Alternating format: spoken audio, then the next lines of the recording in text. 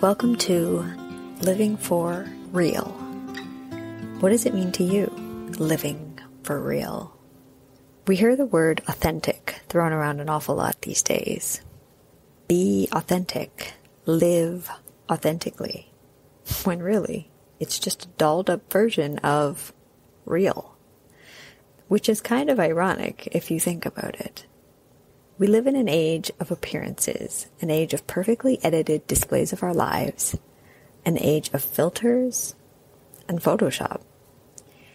We are often so concerned about how others perceive us and our lives that we lose sight of ourselves and what really matters.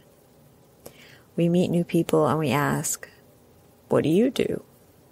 Where are you from? And what have you done?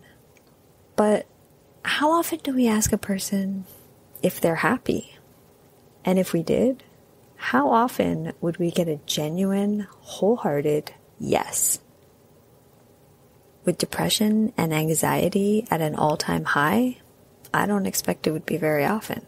So, living for real to me is knowing ourselves, who we are and what we want, and experiencing life as it is, in its pure and natural form, in all of its beauty, and also in all of its imperfections.